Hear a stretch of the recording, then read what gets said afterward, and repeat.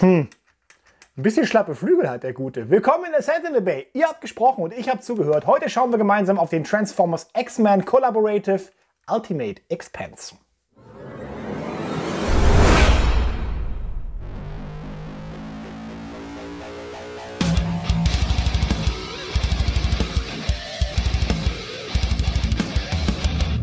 Vorab ein Blick auf die Box und die ist wunderschön, wie ich finde. Wir haben diese Collaborative Boxen, ne, immer so ein bisschen gehalten im Stil des jeweiligen Franchises, mit dem man da zusammenarbeitet. Erstmal hier oben haben wir das Logo, ne, entsprechend mit dem X-Men Jet. Dann ist er hier im Old Mode schön präsentiert, ne, Klarsichtfenster. Hier haben wir dann den ähm, Ultimate Expense im Artwork. Die ganzen Farben sehr auf X-Men getrimmt. Das sieht super gut aus. Das X-Men-Logo ist mit drauf. Wir haben hier nochmal das Artwork. Hinten sind die Ränder der Figur und auf der Seite haben wir Zeichnungen von Wolverine und Sabertooth. Die sind nämlich tatsächlich mit dabei. Rückseite ist dann, oder Unterseite ist nicht viel. Hier oben sind nochmal die gleichen Ränder, glaube ich, oder? Ne, ist eine andere Pose. Immerhin das. Also ich finde es eine wunderschöne Box. Ich finde aber vor allem das Innenleben finde ich interessant. Da gucken wir nochmal ganz kurz drauf. Ähm, wie gesagt, liegt in einem Kunststoff-Klemmshell. Das ist alles noch aus der Zeit, bevor Hasbro angefangen hat, Plastik zu reduzieren. Beim Klemmshell vermisse ich es nicht. Die Klarsichtfenster, muss ich sagen, fehlen mir mittlerweile. Hier haben wir diese wunderschöne schematische Zeichnung vom X-Jet. Ne? Also hier so wirklich mit, mit äh, ja, so auf, einmal aufgeschnitten, ne, wo die Crew sitzt, was sie also können. Hier sind ein paar technische Daten. Hier haben wir ein paar Zeichnungen, so wie so Visit, wie so, wie so, wie so Sammelkarten sieht das aus, ne, von den einzelnen X-Men, Colossus, Iceman, Gambit, Jean Grey, Archangel, Deadpool sogar mit drin. Das finde ich witzig. Ähm, also das finde ich einfach liebevoll gemacht. Das ist eine sehr, sehr schöne Box. Ich finde, das ist auch tatsächlich etwas, das ist so eine Box, da verstehe ich wieder mal so einen, so einen In-Box-Sammler. Das kommt ja eher selten vor. Aber das ist eine, die auch tatsächlich aus dem Regal für sich mit dem Ding drin richtig was hermacht. Und auch die Anleitung kommt im ähnlichen Stil daher, alles in so einem leicht rot-orange-Ton eingetaucht. Das sieht ganz cool aus und die funktioniert auch ziemlich gut. Eine sehr eindeutige, klare Zeichnung, die Schritte klar beschrieben. Schön dieses, dieses etwas dickere matte Papppapier, was Hasbro da benutzt, das ist wirklich toll. Also auch da nichts zu meckern. Wie alle Collaborative-Figuren kommt der Ultimate Expense in seinem Jet-Mode, was ich persönlich sehr begrüße. Wer diesen Kanal schon länger guckt, weiß, dass ich gerne im Jet oder im Alt-Mode anfange und dann hinterher der Roboter erscheint, so wie das früher bei den Originalspielzeugen halt auch war. Das ist meins. Äh, gucken wir kurz auf das Zubehör, was ihr hier sehen könnt. Wir haben einmal diese beiden Minifiguren. Wir haben hier Sabertooth. Der, äh, den finde ich ganz cool, muss ich sagen. Der ist komplett lackiert, wie mir scheint, von oben bis unten. Das Gesicht ist ein, das Gesicht, also das Gesicht selber hätte noch mal einen anderen Farbton, einen richtigen Hautfarbeton vielleicht vertragen können, dass es sich ein bisschen besser abhebt. Aber vom, von der Form und so finde ich den eigentlich ganz nett. Er ist natürlich überhaupt nicht im richtigen Maßstab zum Flieger, von daher weiß ich nicht so, kann man ihn nicht so richtig nutzen. Er steht aber wenigstens. Wir haben dazu noch Wolverine, der ist noch etwas liebloser von der Bemalung. Also das Gesicht ist halt einfach nur so überpinselt. Manchmal, die Augen hat man immerhin freigelassen. Ist alles sehr klein und so. Ich verstehe das schon, aber weiß, sieht nicht so richtig gut aus. Immerhin die Klauen mit Silber abgesetzt. Also von der Farbgebung und so ist schon ganz schön. Der hat nur das Problem, der steht gerade so. Also den kannst du hinstellen und wenn du Glück hast, bleibt er stehen. Jetzt gerade habe ich tatsächlich viel Glück. Ja, doch, es geht. Aber er ist sehr locker. Also das ist nicht ganz so einfach. Ich meine, das ist alles so ein bisschen gummimäßig. Ne? Du kannst dich wahrscheinlich warm machen und dann so ein bisschen zurechtbiegen, dass dann passt. Aber der war jetzt für mich hier so. Jetzt kommt's, ne? Na. Bleib. Bleib. Egal. Da bekommen wir dieses Effektstück. Das, ne, wenn das bekannt vorkommt, sieht so ein bisschen aus wie dieser Psycho-Effekt von Psylocke, den sie immer hat, wenn sie äh, ihre Psychokräfte einsetzt. Ne, das scheint dann so um die Augen drumherum. Ähm, ich hätte eigentlich gedacht, dass man das bei Ultimate Expense oder ich glaube nur Expense, ich weiß gar nicht, wie der Charakter eigentlich heißt. Ultimate ist ja auch immer so ein, so ein, so ein, so ein Präfix generell bei X-Men. Ne? Ultimate Avengers gibt es ja zum Beispiel auch. Egal, jedenfalls, ähm, Hätte ich gedacht, dass man das so vor die Augen klippen kann, ne? als würde er diese Effekte einsetzen, aber kann man tatsächlich nicht. Gibt es keinen Pin für. Das soll man laut Anleitung den Figuren um die Hüfte klemmen. Warum auch immer. Äh, und es hält auch nur so halb. Also bei Sabertooth geht es. Ja, aber ihr seht, er hält nicht sonderlich fest. Bei Wolverine, ja doch, gerade so. Gerade so. Aber es ist halt, ne, weil das ja weiches Plastik ist, nicht so richtig toll. Wie gesagt, ich verstehe auch nicht so ganz den, äh, den Sinn dieses Effekts. Die anderen zwei Effekte sind schon deutlich äh, effektvoller tatsächlich. Wir haben einmal hier diese, ähm, auch die sind so ein bisschen nach, nach Psylocks Psychokräften äh, gestaltet. Und dann haben wir hier diese Klinge. Die sieht ganz cool aus. Die ist auch, ich dachte erst, die wäre wär gewarpt, aber das ist tatsächlich Absicht, dass es das halt aussieht wie so eine Schwertklinge, dass die hier so ein bisschen schräg ist, weil hier sind wirklich Kerzen gerade. Das ist okay, ist auch einigermaßen stabil. Die ist ganz schön und wir bekommen hier diese Wolverine-mäßige Klaue. Ne, auch die finde ich ganz, ganz cool. Könnt ihr halt im Jet-Modus parken Ne, ihr habt hier unten sind, ähm, da an der Stelle sind 5 mm Ports, da könnt ihr sie zum Beispiel reinstecken, da könnt ihr aber einfach an die Seite legen. Im Bot-Modus später kann man die dann ebenfalls benutzen. Gucken wir auf den Jet.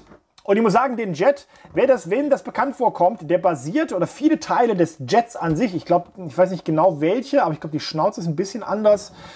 Ähm, das ein oder andere hier könnte vielleicht leicht verändert sein, aber grundsätzlich ist die Außenhülle der Studio Series Jetfire, den ich hier schon gezeigt habe, die Leader Class Figur. Und ähm, man hat allerdings hier nicht diesen Bart links und rechts raushängen. Also ich finde den so als Jet von der Form, finde ich den ziemlich geil. Ich mag ja die Blackbird generell als Modell.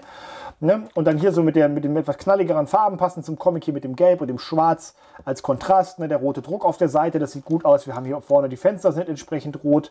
So ein paar Liniendetails auf der gesamten Oberfläche. Ne? Von hier, das ist alles geriffelt so, ne? mit diesem mattschwarz.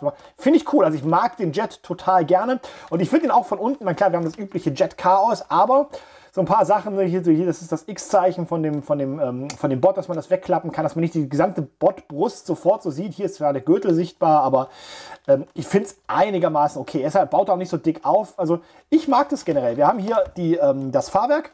Das sind leider keine richtigen Rollen, dadurch kann man ihn nur schieben. Das wäre noch ganz schön gewesen, wenn man hier richtig Rollen gehabt hätte.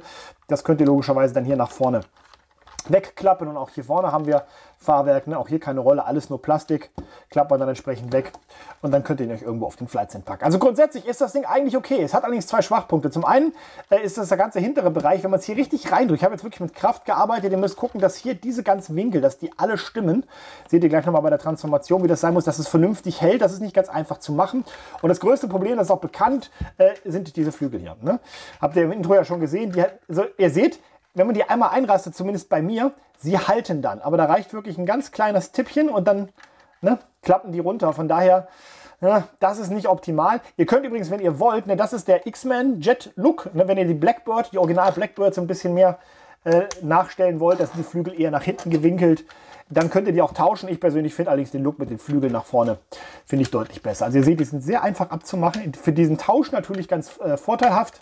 Sie fallen auch bei der Transformation mehrfach ab. Ich versuche die mal nicht rauszuschneiden, dass wir mal einen realistischen Count bekommen, wie oft sie mir runterfallen. Ne? Aber das ist sicherlich nicht schön. Aber abgesehen von diesem Schwachpunkt finde ich diesen Jet ziemlich genial. Und ziemlich groß ist er auch. Hier haben wir mal den War for Cybertron Siege 6 Gun in seinem Alt-Mode. Also seht ihr, das halt vor allem extrem lang. Also wenn ihr den im Jet-Modus ausstellen wollt, müsst ihr schon ein bisschen Platz einplanen. Denn dieser Jet ist von vorne bis hinten ganze 35 cm lang und auch die Breite ist nicht zu verachten von Flügelspitze zu Flügelspitze, immerhin 23 cm. Für die Verwandlung klappt ihr zunächst den Fuß hier nach draußen und löst dann das ganze Triebwerk hier seitlich aus der Arretierung. Das ist hier unter dieser Platte da eingesteckt.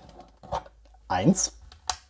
Und dann bringt ihr das Triebwerk am besten hier auf dem äh, Hüftgelenk einmal nach oben, klappt es leicht nach draußen und dann habt ihr jetzt hier diese Klappe einmal hier und auf der anderen Seite die gleiche, ne? einmal hier rausklappen und dann könnt ihr das ganze Teil hier, das ist der Fuß, nach unten schwingen und hier das Bein der Länge nach rausziehen. Ihr habt jetzt hier, wir gucken, dass das hier wirklich einigermaßen gerade ist. Ihr habt jetzt hier vorne diesen Teil, den schwingt ihr nach vorne, das ist dann sein Knie sozusagen. Und jetzt habt ihr hier, könnt ihr das Bein hier splitten. Das ist gerade hier an der Stelle, dieser Teil ist hier hinten, das ist so ein C-Clip. Zack, ziemlich fest drin. Zieht ihr nach oben, dreht ihr rum und ne, schiebt das Ganze dann hier, ne, dann ist hier der zweite C-Clip, drückt sich das Ganze entsprechend dann wieder rein und hier unten macht ihr das genauso. Da geht es etwas leichter. Ne? Zieht ihr das hier nach oben, dreht es einmal rum und bringt das Ganze hier an der Stelle dann zurück. Und dann habt ihr hier noch den Fuß, der hat hier ein Doppelgelenk, den schwingt ihr jetzt hier ne, einmal nah ran ans Bein und könnt jetzt hier mit den Klappen, ne, die haben hier diese Nasen, legt sich die eine Klappe hier hin, die andere Klappe legt sich dorthin und die Flügel, ne, das Teil bringt ihr entsprechend hier nach hinten und den Teil legt ihr dagegen. Dreht die Beine jetzt hier nach oben und bringt sie dann hier auf dem Gelenk einmal nach vorne und ne, müsst ihr am besten hier oben anpacken, sonst dreht ihr wahrscheinlich eher das Knie, bringt ihr die Hüfte hier nach unten. Jetzt müsst ihr diese beiden Teile voneinander trennen. Die sind ziemlich ineinander verhakt, ne, weil die hier, da unten, ne, also es ist immer so gegensätzliche Pins, das ist ein bisschen schwierig und auch hier sind sie eingehakt, aber dann geht es und dann nehmt ihr hier dieses Teil, müsst ihr an dem Ding vorbeischwingen, klappt hier die Flügel, drückt ihr leicht nach unten, dann könnt ihr sie hier an der Stelle rausklappen und dann nehmt ihr das Ganze hier auf dem Doppelgelenk, schiebt es nach hinten. Ne, hier sind so zwei Stifte, die arretieren das Ganze und klappt es hier nach oben. Und jetzt nehmt ihr eure Flugzeugspitze, zieht die hier aus der Arretierung und bringt den ganzen Krempel erstmal nach hinten und habt jetzt hier die Arme. Und die trennt ihr hier an der Stelle auf, bringt jetzt hier dieses Schulterteil, bringt ihr hier nach unten, hakt das, ne, springt hier so leicht über hakt das Ganze hier ein und jetzt nehmt ihr dieses Teil, den Teil finde ich toll, dreht es rum und klappt das Ganze hier rein. Ist im Prinzip auch nur eine Klappe, aber irgendwie ist es mal anders. Mag ich ganz gern. Und dann den Arm hier nach unten und hier nach vorne. Klappt jetzt hier einmal das X nach unten und dann nehmt ihr die ganze Brustplatte hier auf diesen beiden Gelenkärmchen an der Seite. Haltet so ein bisschen gegen die Kopfplatte, sonst rutscht ihr euch nämlich mit runter. Seht ihr? Müsst ihr gucken, dass ihr das jetzt hier mit dem Kopf dagegen haltet, sonst sitzt das am Ende nicht richtig. Denn hier ist so eine kleine, so wie so ein Steg, so eine Platte, die muss unter die Kopfplatte und der Kopf muss dabei gerade sitzen. Und dann drückt ihr das hier an der Stelle zusammen. Dreht jetzt die Flügel hier einmal nach vorne, die müssen hier so ein bisschen an den Schultern vorbei, das ist nicht ganz so schön. Ne? Legt das hier drauf und dann knackt ihr die Flugzeugspitze hier in der Mitte auseinander, klappt das hier einmal rum. Da habt ihr auch einen entsprechenden Arretierungspunkt. Ne? Hier Stift, also hier das Schraubenloch quasi geht da hinten auf, dieses, auf diesen Pin und dann legt ihr das einfach hier drauf. Die Flügel könnt ihr so grob, so 45 Grad nach oben angelehnt, wie ihr das gerne wollt, so anwinkeln. Und dann nehmt ihr hier das Backpack, schwingt das nach unten. Das hat hier, dieses Teil legt sich da rein. Dass es so ein bisschen Halt bekommt, dann drückt ihr das richtig da rein. Und dann sitzt es eigentlich ganz gut. Und dann seid ihr mit Ultimate Expense in seinem Bot-Modus fast. Ne, die Flügel noch hier noch ein bisschen nach oben. Da. Stehst du? Stehst du? Ah, fertig. Jetzt schon. Nach einigen Posing-Versuchen haben wir ihn dann hier in seinem Bot-Modus. Und ihr seht, die beiden Minifiguren kann man tatsächlich oben auf die Flügel draufstellen. Ich habe das in der Anleitung gesehen und dachte mir, das haut doch nie im Leben hin. Gerade der Wolverine fällt doch bestimmt darunter. Natürlich ist es nicht super stabil, ne? Das war's. Aber naja, wenn man es einmal hingestellt hat und dann nie wieder durch den Raum läuft, mag es funktionieren. Also warum sage ich das? Die Idee finde ich ganz cool eigentlich, weil es die Größe des, des Bots einfach noch ein bisschen unterstreicht. Ich hätte mir halt gewünscht, dass er vielleicht irgendwie so einen kleinen Pin hier oben mit reingießen, wo die Figur draufstecken kann, dass es einfach sicherer hält. Das wäre okay gewesen. Dann haben wir hier die Klingen, ne? könnt ihr wie gesagt hier in die Handöffnung äh, stecken. Ich finde, das kommt gut. Ne? Funktioniert gut. Ich persönlich hätte mir ja äh, lieber zwei von denen gewünscht. Und noch das Schwert, weil da hat man diesen Wolverine-Look noch so ein bisschen mehr. Aber ähm, ja, ihr müsst halt euch quasi dann zwei teilen an der Stelle. Aber ich denke, es ist okay. Gibt Schlimmeres. So grundsätzlich muss ich sagen, finde ich den ja eigentlich ganz nice. Ich finde, die, also die Flügel hier oben, diese Plattform, ich hätte sie lieber, vielleicht kann man die auch irgendwie mal gucken. Ja, man kann die vielleicht so ein bisschen runterklappen, dann sind sie nicht ganz so präsent, aber er hat es halt trotzdem irgendwie da oben auf dem Rücken. Das kann man halten wie ein Dachdecker. So richtig schön ist das nicht. Den Flügellook hier finde ich cool, zumal die Flügel hier entsprechend mit Gunmetal halt auch bemalt sind und modelliert. Das kommt ganz gut.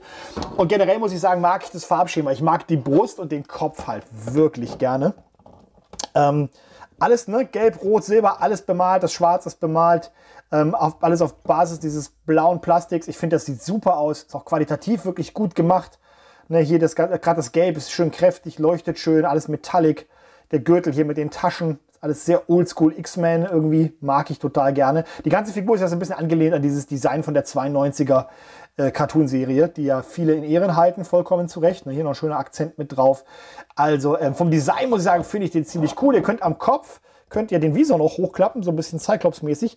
Den, das Gesicht finde ich ein bisschen gruselig irgendwie. Also sieht, weil er so extrem große, immerhin rot bemalte äh, Augen hat. Aber ähm, das Feature ist ganz witzig. Ich finde allerdings, dass das so cooler aussieht. Und ähm, ja, dann hier unten noch ein paar mehr Details hier mit den Knien, das kommt soweit alles ganz gut. Der Aufbau mit den Flügeln ist halt ein bisschen groß. Das Schöne ist ja, ihr habt gesehen, die Flügel entfernen sich ja sowieso die ganze Zeit von selbst, von daher könnt ihr es auch einfach ablassen, ja, und dann habt ihr nicht mehr ganz so viel Kibbel. Vielleicht ist das sogar äh, gewollt, sicherlich nicht, aber ne, ihr seht auch hier, der Flügel, der springt richtig über. Hier, der ist so ein bisschen lose immer noch. Ähm, aber so sieht es ein bisschen besser aus. Lässt man sie vielleicht einfach weg. Keine Ahnung. Ansonsten, ähm, ja, so vom Design, von den Proportionen ist ein bisschen schräg, klar, aber ich finde es nicht schlimm. Ich finde es nicht schlimm. Also ist, glaube ich, von, von den Bot-Designs her, von den Collaborative-Figuren, die ich bisher gesehen habe, das waren ja sonst nur noch der Gigawatt, also von äh, Zurück in die Zukunft oder Gigawatt und ähm, der Maverick, ja, dieses Top Gun-Desaster, ähm, finde ich das vom Bot-Modus ist das der schönste bisher. Machen wir mal die Flügel mal wieder hoch sah dann tatsächlich doch besser aus als dieses runtergeklappte Ding. Er ist allerdings technisch nicht ganz ohne, denn zum einen seht ihr, er, hat so, er kippelt so ein bisschen. Er ist ziemlich rückenlastig, also du kannst ihn eigentlich nur gerade hinstellen, wenn du die Hüftgelenke so wie hier einklickt nach vorne und die Knie leicht zurück, also ganz gerade hingestellt. Wenn ich jetzt alles ganz gerade ausrichte hier, was übrigens aufgrund der festen Gelenke nicht so einfach ist, da kommen wir gleich noch zu, dann ne, ist er rückenlastig. Das ist sehr schade. Er ist, die Gelenke sind zwar eigentlich fest, also ihr seht, da schlabbert nichts rum. Das Problem ist hier, halt, er hat hier so eine, haben sie so eine Art Beuge eingebaut. Du kannst sie leider quasi nicht nutzen, aber sie ist unfassbar locker. Das, dadurch schlackert der ganze Oberkörper rum. Das macht die natürlich zusätzlich instabil und auch die Knie, ne, die die haben halt zwischen den Zähnen ist zu viel Spiel. Das haben wir auch schon bei anderen, auch schon noch bei teureren Figuren noch gesehen. Äh, das ist, das macht es ein bisschen problematisch. Und das, Backpack ist natürlich ziemlich krass, aber es hält immerhin gut zusammen. Das hier oben hätte gerne noch ein bisschen besser arretiert sein dürfen, aber es ist okay. Also ich finde in Summe, es ist eine, natürlich, die Figur ist eine Kuriosität, wie eigentlich alle äh, Collaborative-Figuren. Ähm, man kriegt den gepostet. Man, ich finde das Design generell ne, hier, das finde ich alles toll. Aber ich hätte mir gewünscht, dass man vielleicht auf diese ganze Nummer hier, auf dieses Gelenk, was hier drin ist, das du eh nicht wirklich nutzen kannst, das einfach weglassen. Ne? Hier lieber ein festes Teil, dass das vernünftig ist. Die Rotation ist sowieso unten drunter. Dann würde er sich nicht ganz so wabbelig anfühlen und dann wäre er auch deutlich einfacher stabil hinzustellen. Bei der Beweglichkeit haben wir zunächst hier die Flügel. Die könnt ihr, wie gesagt, auf diesen Gelenken neigen, wie ihr lustig seid. Auch hier hinten, die könnt ihr noch ein bisschen, die könnt ihr auch nach unten hängen, wenn ihr wollt. Das geht alles. Und dann haben wir den Kopf und der sitzt auf einem drehbaren Scharnier. Das heißt, ihr kriegt einen guten Blick nach oben, ihr kriegt auch einen ziemlich coolen Blick nach unten und ihr kriegt eine Rotation. Ihr kriegt aber folgerichtig keine Neigung links und rechts. Wir haben die Schultern, die sind einmal hier, diese Teile sind auf äh, Kugeln aufgehangen und ich kriege das im minimalen Butterfly, ist aber nicht wirklich viel. Ne, das, die, der Arm selber geht hier 90 Grad raus. Ihr könnt das Teil hier unten auch aushängen, ne, dann kommt ihr noch ein bisschen weiter, dann habt ihr hier die Lücke, aber für ein Foto oder so, ja, kann man sicherlich kann man sicherlich werten. Rotation rundherum ist kein Problem, abgesehen von den Flügeln, aber das kriegt man leicht gelöst. Rotation am Ellenbogen funktioniert. Einfaches Gelenk, äh, Ellenbogen, Oberarm ist das. Das ist der Ellenbogen. Einfaches Gelenk, 90 Grad und ein rotierbares Handgelenk. Dann haben wir, wie gesagt, hier diese, dieses, diese Apparatur hier im Torso. Theoretisch ist es eine, eine, eine Beuge. Ne? Also ihr seht, ne? Man kann ihn beugen, aber zum einen ist das Gelenk so locker, dass ihn das Gewicht des Rucksacks zieht ihn wieder nach hinten. Von daher kann man das nicht wirklich nutzen. Und auch die Neigung links und rechts ist so ein bisschen... Hm, überflüssig. Ich weiß nicht, wenn man hier diese Dinger wegmacht, kommt man auch nicht wirklich weiter. Also es ist eigentlich nur ein Instabilitätspunkt, ziemlich überflüssig. Die richtige Hüftrotation oberhalb des Gürtels haben wir nicht, aber wir können immerhin die Beine hier unterhalb, also 45 Grad in beide Richtungen, grob kriegt man da schon hin. Also für die meisten Posen wird es reichen. Und dann haben wir die Beine. Die Gelenke hier sind problematisch, denn die Hüft, also eigentlich die gesamte Abstimmung der Gelenke aufeinander ist nicht gut. Wir haben einmal das Hüftgelenk nach vorne. Wenn ich wenn man unten am Bein zieht, kann man die Hüfte ganz gut bedienen. Es ist eine sanfte Ratsche, aber die ist ziemlich fest. Ne, mit dem langen Hebel geht es dann einigermaßen, aber es ist halt, ne, wenn ich hier das Knie zum Beispiel bewegen will, ne, ziehe ich eher an dem Hüftgelenk, als dass ich das Knie bewege. Das nervt ein bisschen. Nach außen auch ziemlich fest, aber auch die volle Reichweite. Ja, das ist okay, aber zurück ist dann... Oh, also man kriegt selten nur diesen, wenn man nur einen Klick will. Das ist eigentlich eine recht feinzahnige Ratsche, aber wenn man diesen einen Klick nur haben will, muss man wirklich sehr präzise arbeiten. Hier haben wir übrigens einen kleinen Overspray eine Farbe, das ist aber nicht so wild. Bein geht übrigens bis hier nach oben, ich weiß nicht, ob ich das eben richtig erwähnt habe. Nach hinten geht es im Prinzip, naja, so bis hier, ne, dann kommt das Backpack in den Weg, wenn man es ein bisschen weiter auseinander dreht, ne, kommt man auch noch, also die Reichweite ist generell schon da, man muss ein bisschen drumherum hantieren. Oberschenkel, ne, rotiert, kein Problem, ja, nicht schon wieder. Ähm, um, es ist dieses Scheißding. Äh, das, das funktioniert, dann haben wir das Knie. Ähm, auch hier, wir haben hier unten das Gelenk, ist ein bisschen einfacher zu bedienen, ist aber eigentlich nicht das, was ihr wollt. Denn das richtige Kniegelenk, mit dem ihr Reichweite produziert, ist das hier. Und die Ratsche ist meines Erachtens viel zu fest. Na, aber dadurch kriegt ihr schon mal die 90 Grad. Und ihr habt jetzt hier zusätzlich das kleine Gelenk noch hier unten. Das gibt euch aber nicht so viel mehr. Ne, von daher, ja, 90 Grad am Knie. Ich denke auch, das ist okay. Aber hier, ne, diese Gelenke sind zwar sehr fest. Das heißt also, er wird euch nie über die Knie wegkippen. Aber die Bedienung ist wirklich eklig. Und auch hier die Schraube, da könnt ihr nicht wirklich viel mit dran machen. Dann haben wir noch den Fuß, der geht, das ist zwar so ein bisschen äh, digital, weil er hier so einen Übersprungspunkt hat, aber er geht gute 45 Grad nach oben, das ist cool. Und wir haben hier noch eine Bewegung leicht nach unten. Die Ferse ist hier auf einem Kugelgelenk, das ist ja sein Triebwerk sozusagen. Könnt ihr ein bisschen justieren, bringt euch aber für die Stabilität nach hinten nichts. Das ist so einer, der hätte so einen richtigen Fersensporn gebrauchen können, dass er nach hinten stabiler steht und den Flügel hier ein bisschen gerader machen, dass er auf dem Flügel sich abstützt, irgendwas äh, fehlt leider beides. Und dann haben wir noch die Bewegung des, des, des, des äh, Knöchels nach innen, die funktioniert, und nach außen funktioniert tatsächlich auch. Das ist ziemlich gut. Also die Reichweiten sind generell da. Ich finde halt die ganze Gelenkkonstruktion im unteren Bereich, die ist ziemlich unbeholfen und macht keinen Spaß beim Justieren. Der Oberkörper funktioniert, also ne, Kopf, Kopf, Schulter, Arme, das funktioniert ja alles ziemlich gut. Dieses Gelenk hier in der Mitte hätte man sich im Sinne der Figurenstabilität schlicht und ergreifend schenken sollen. Auch im Bordmodus ist die Größe nicht zu verachten. Von Kopf bis Fuß immerhin 25 cm. Auch das Gewicht ist nicht ohne 299 Gramm. Und zum Vergleich haben wir hier mal Studio Series 44, da ist es glaube ich, ne? 44, Dark of the Moon, Optimus Prime. Auch da schulde ich euch noch ein Review, kommt alles die Tage. Ich hole wieder auf. Und ähm, ja, ihr seht, das Ding ist riesig. Fazit, das größte Problem der Figur ist die Rückenlastigkeit. Das Backpack ist sehr groß und sehr schwer. Und das kombiniert mit dem fehlenden Fersensporn, dem lockeren Torsogelenk und dem großen Spiel im Kniegelenk sorgt dafür, dass er einem regelmäßig nach hinten überfällt. Und das nervt. Das hätte man sicherlich lösen können, indem man einfach mindestens mal eins dieser drei Probleme angegangen wäre. Alle drei zusammen sind doch recht nachteilig. Ansonsten haben wir noch diese abfallenden Klappen, die sind halt vor allem, gehen sie einem unglaublich auf den Keks, weil du ständig dieses Ding wieder dran stecken musst. Und im Ortmode ist es auch tatsächlich ein Problem, weil sie halt doch runterklappen und dann sieht der Ortmode einfach nicht mehr gut aus. Und das ist schade, denn der sieht ansonsten absolut fantastisch aus. Mag ich sehr, sehr gerne. Und genau dafür habe ich mir ja auch geholt. Von daher, für mich geht das dann schon klar. Aber auch der Bottenmod sieht super aus. Also gerade die ganzen neuen Teile, ne? die Brust, der Kopf, die Arme, finde ich vom Design her wirklich toll. Die Bemalung ist klasse. An der einen oder anderen Stelle haben wir gesehen, haben sie ein bisschen übergemalt, aber grundsätzlich die Farben sind decken toll, knallen toll, ne, leuchten schön. Das ist wirklich sehr, sehr schön. Auch die Beweglichkeit ist ziemlich beeindruckend. Leider sind die Hüft- und Kniegelenke nicht so richtig der Kracher. Das sind zwar fest, aber meines Erachtens schlecht aufeinander abgestimmt. Eigentlich sind sie zu fest und machen ihn etwas ja, anstrengend zu posen. Das Zubehör ist soweit ganz nett. Die Wolverine-Figur steht nicht vernünftig und sie sind beide Figuren sind nicht im Maßstab. Dieses weiche Gummi für die oder dieses weiche Plastik für die Effekte finde ich auch nicht so ein Riesenkracher. Ich hätte lieber zwei Klingen gehabt. Und dieser Psylocke-Stirneffekt ist einigermaßen nutzlos. Aber naja, es ist ein bisschen was dabei. Pluspunkte gibt es definitiv für das ziemlich coole Boxdesign. Also zum Originalpreis von, ich glaube, bei fast 100 Euro sollte der eigentlich kosten oder 80 Euro, irgendwas in der Größenordnung, äh, hätte ich ihn, habe ich ihn guten Gewissens stehen lassen in den letzten Monaten. Ich habe ihn jetzt hier im Ausverkauf gekriegt für 35. Also den Preis ist er meines Erachtens, wenn man das den Look mag, ist es den Preis von 35, 40 Euro in jedem Fall wert. Vielleicht noch mit ganz viel Wohlwollen 50 als großer X-Men-Fan, aber alles, was darüber hinausgeht, ist definitiv zu viel. Soweit mein Video zum Ultimate Expense. Wenn es euch geholfen hat, unterstützt mich gern auf Patreon oder direkt hier auf YouTube als Kanalmitglied und checkt meine anderen Collaborative Videos hier oben in der entsprechenden Playlist. Bis dahin sage ich vielen Dank fürs Zuhören. Bis zum nächsten Mal. Ciao.